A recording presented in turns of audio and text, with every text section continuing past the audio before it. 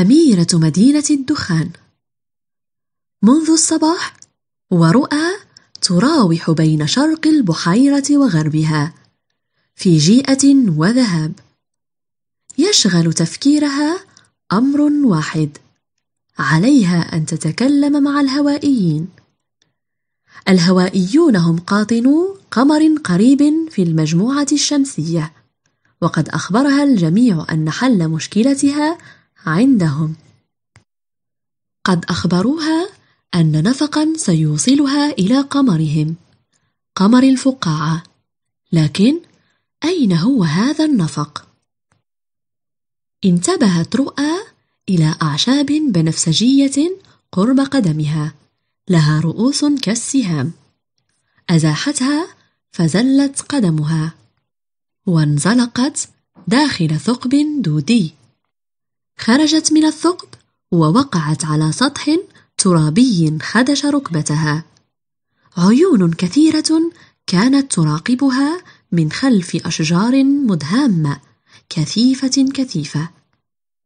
تقدم واقترب منها كائن وقال ديدي أخا بوزا كريمو. خرج صوت من الترجمان على ذراعها يترجم لها قول الكائن. من أنت وماذا تريدين؟ فقالت رؤى أنا رؤى أميرة مدينة الدخان. هواؤنا يملأه ثنائي أكسيد الكربون. الناس يسعلون ليلا ونهارا. وصافرات الإنذار تدوي دون توقف. سمعت أن لمشكلتي حلا عندكم. أجابها الكائن أنا فقوع زعيم الكوكب. كنت أنوي أن أعبر من الثقب الدودي إلى كوكبكم. فحل مشكلتي أنا أيضا لديكم. سأمنحك بذورا سحرية. تنقي الهواء وتنمو عند ملامسة الماء. ثم أدار رأسه ثلاث دورات. وأكمل. ستنبت أشجار وتمتص غاز ثنائي أكسيد الكربون من الهواء وتختزنه داخلها. عليك أن تضخي غاز ثنائي أكسيد الكربون عبر هذا الثقب إلى كوكبنا. نحن نتنفسه وقد قارب على النفاد عندنا. فرحت رؤى كثيرا لكن فقوعا تابع قائلا لكن ليس عندي بذور كثيرة وما تبقى قد لا يكفي لتنقية الهواء. عليك أن تقللي الأشياء التي تنفذ غاز ثنائي أكسيد الكربون في مدينتك. حملت رؤى البذور وأسرعت إلى الثقب فوراءه ينتظرها عمل كثير. وصلت فنادت. على الجميع التجمع في الساحة الكبيرة الآن. أقبل الجميع صغارا وكبارا يلتفتون يمنة ويسرة ويتساءلون ما الأمر؟ قالت رؤى لدي خطة لتنقية الهواء يكفينا سعالا اعترض الجميع وقال العم نعمان هذا مستحيل نحن على هذا الحال منذ أعوام. هز الجميع رؤوسهم مؤيدين فقالت رؤى معا سنتعاون وأعدكم أن كل شيء سيكون على ما يرام. أعطت رؤى البذور للأطفال فأسرعوا إلى مجمعات الماء حول البيوت وفي الساحات وعلى أسطح العمارات وألقوا فيها البذور. تذمر الكبار ورددوا. أشجار حول البيوت وفي الساحات وفوق العمارات؟ لم نعتد هذا ولسنا مرتاحين لهذا التغيير. ردت رؤى سيكون التغيير لصالحنا. أعطت رؤى الأوامر للرجال الآليين. فاقتلعوا المصانع. ووضعوها على عربات ضخمة. ونقلوها إلى أماكن بعيدة. بعيدة عن المدينة. ردد أصحاب المصانع والعمال. صار الوصول إلى مصانعنا يتطلب وقتا طويلا. لم نعتد هذا. ولسنا مرتاحين لهذا التغيير. ردت رؤى سيكون التغيير لصالحنا.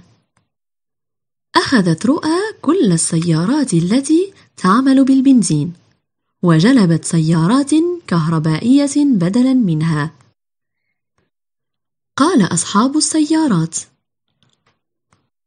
السيارات الكهربائية بطيئة لم نعتد هذا. ولسنا مرتاحين لهذا التغيير.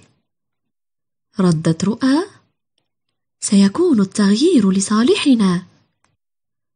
جعل إبعاد المصانع والسيارات مؤشر ثنائي أكسيد الكربون في المدينة ينخفض قليلا. لكن ظل تركيز ثنائي أكسيد الكربون عاليا في الجو.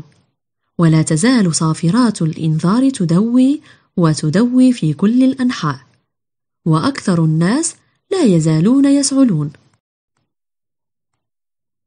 كان لابد للشجر من أن ينمو كي يمتص ثنائي أكسيد الكربون المتبقي من الجو لكن لماذا لم ينمو حتى الآن؟